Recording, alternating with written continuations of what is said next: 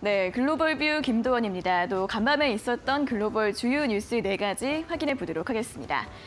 자, 미국 기업들의 인력난이 절정에 달했다고 합니다. 3월 채용 공고가 역대 최대를 기록했다는 소식인데요.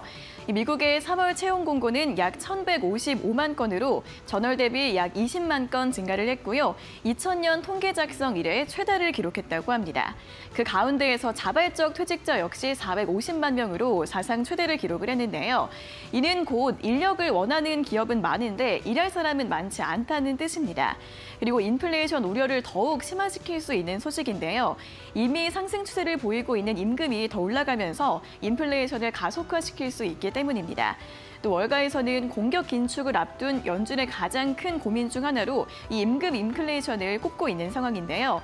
또 현재 진행되고 있는 5월 FOMC 결과에도 영향을 미치게 될지 앞으로 나올 소식까지 함께 확인해 보시면 좋겠습니다.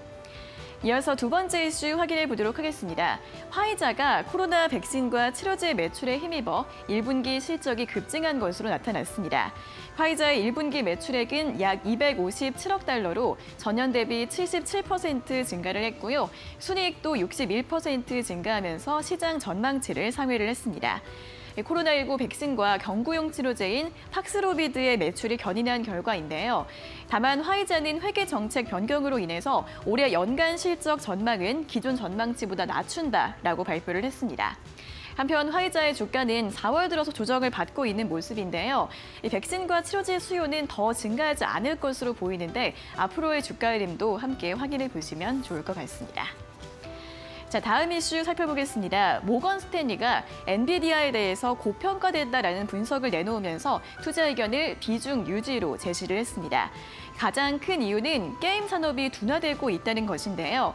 2023년 게임 산업에 조정이 있을 것이라며 최근에 게임 소프트웨어 구매가 줄고 있어서 하드웨어 판매도 감소할 것으로 보이고 이 게임 관련 제품을 생산하는 엔비디아에도 부담이 될 것이다라고 분석을 하고 있습니다.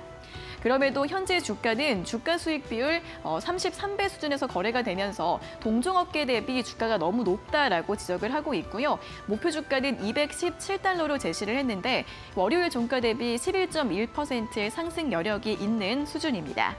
엔비디아 주가 역시 4월 들어 굉장히 부진합니다. 한 달간 거의 100달러 이상의 하락세를 보여주고 있는데 또 이러한 분석들도 함께 참고해 보시면 좋겠습니다. 자, 마지막 이슈 살펴보도록 하겠습니다. 그런 반면에 MGM 리조트에 대해서는 긍정적인 분석이 나왔습니다. 아무래도 리오프닝에 따라서 희비가 엇갈리는 듯한데요. JP모건이 MGM에 대해서 투자 의견을 비중 확대로 상향을 했습니다. 관광과 비즈니스 컨벤션 수요가 라스베이거스로 복귀하면서 MGM이 수혜를 볼 것이다 라고 분석을 하고 있고요. 목표 주가는 53달러로 현재 주가 대비 26%의 상승 여력이 있는 것으로 보입니다. 또 이와 함께 유가 상승의 영향이 크지 않다라는 점, 그리고 현재 63억 달러의 현금을 가지고 있어서 자사주를 매입할 수 있다는 부분, 이러한 점들을 긍정적으로 보고 있는데요. 또 올 들어 S&P 500 지수가 12.8% 하락하는 데 반해서 MGM 같은 경우에는 6% 하락에 그치면서 시장 대비 굉장히 선방하는 모습을 보여주고 있습니다. 자, 이러한 분석과 함께 역시 리오프닝에 대한 관련주들 어, 관심 계속해서 가져보시면 좋을 것 같습니다.